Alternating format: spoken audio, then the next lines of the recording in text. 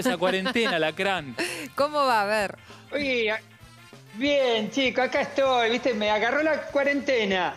Lejos de. Ah, Yupi, acá me alcanzan el papel picado, Menos mal, Yupi. menos mal. Vos sabés que. me- menos mal, me agarró justo con mi suegra, con mi mujer. Vos sabés que mi suegra me visita, la buena que me visita nada más que dos veces por año. Sí. La mala se queda seis meses. No. Y recién había Pero llegado bueno. cuando empezó la cuarentena, no me digas. Justo, justo. Y, y la tengo acá, mi suegra. Vos sabés que se llama Lucía Fernanda. Yo cariñosamente le digo Lucifer. No. Y bueno, ¿viste? Sí, pero bueno, buena onda. Mi mujer dice, Alacrán, ¿dónde pusiste el libro Cómo vivir 100 años? Lo escondís, que hoy está tu mamá. Pero bueno, acá estamos. Y le digo, usted es una mujer sincera. Me dice, ah, por la mirada, no por los bigotes. No. Pero bueno. Son A la- cosas que pasan. Aparte, mi mujer se pone de mal humor con la cuarentena, Milva. Porque Y sí. Me dice, ay, Alacrán, hoy es nuestro aniversario y no me dijiste nada. Bueno, para que veas que no te guardo rencor, mi amor. No, pero. Así no ayudás, Bueno. Alacrán. ¿Cómo no se va a enojar? Es verdad, vos sabés que me está faltando tacto. Yo me doy Poco. cuenta, vos me tendrías que enseñar a tener tacto con mi esposa.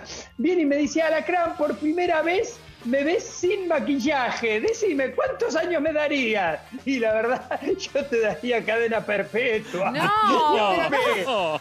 Justo en esta época en que las mujeres están preocupadas, bueno, Todo mucho- mal, no nos podemos mucho, ¿no? arreglar el pelo, no podemos ir a la peluquería, no nos podemos arreglar las manos. Es un momento Sí. difícil para las mujeres que somos coquetas. ¿Y sabés qué hace Milva, mi mujer? Come, se la pasa comiendo. Todos hacemos Dice lo que mismo. Por, primera vez cumple con las 32 comidas que recetan los médicos. Es que es un momento tremendo para cuidarse. Alacrán es muy difícil, Sí. viste que uno está en casa y ahora que comemos y cocinamos una Ahora, cosita. Yo quiero hacer una pregunta, picamos Lacrán. algo. El tema del papelito picado. Sí, dale. Me imagino que lo levantarás vos Sí. o también mandás a tu suegra y a tu mujer a, li- a limpiar un poco el- ese rinconcito No. donde estás haciendo el show. No, si me hacen trabajar a mí, Mariano, me hace hacer la cama. Está muy me dice, bien. andá, claro, hacer la cama. Le digo, bueno, mi amor, pero la sábana con elástico es grande. Esa es mi tanga, idiota. No, pero está tremendo este hombre hoy con los chistes. Pero qué barbaridad, Anabel, a ver. ¿Qué, qué hacemos con Alacrán de- esta mañana? Alacrán. Bueno, Alacrán, ¿cómo estás? Te escucho poner- hablar de tu suegra, de tu mujer, pero, pero te falta el tema de los chicos, ¿eh? que están todo el día en la casa. ¿Cómo estás haciendo?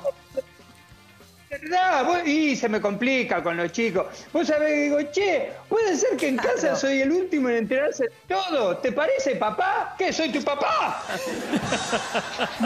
Me dice, feliz día del abuelo.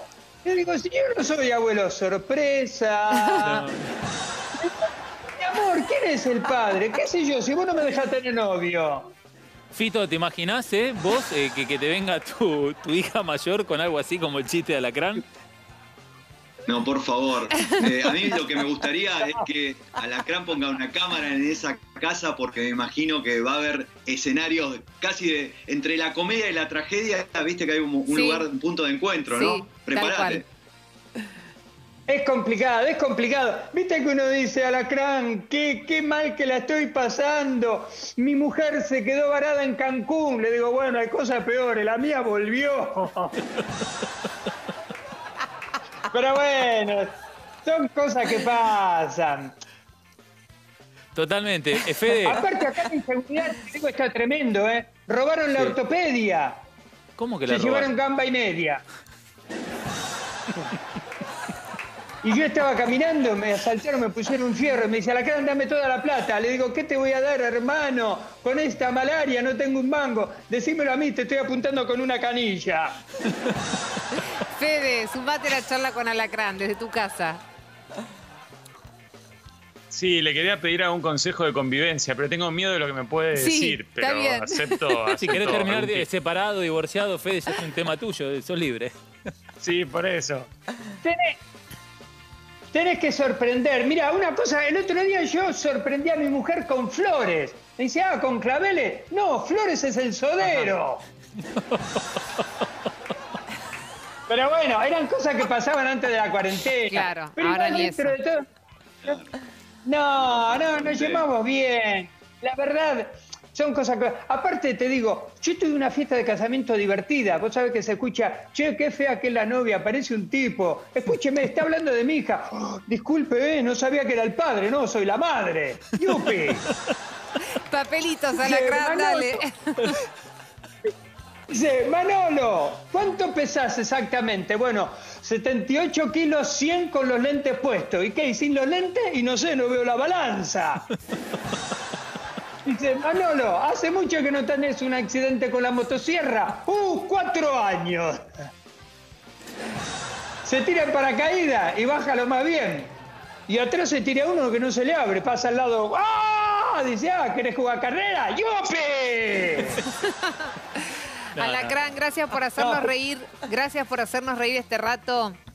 El humor ayuda Gracias a muchísimo. Gracias por tu tiempo, por tu disponibilidad Bueno. y por tu, por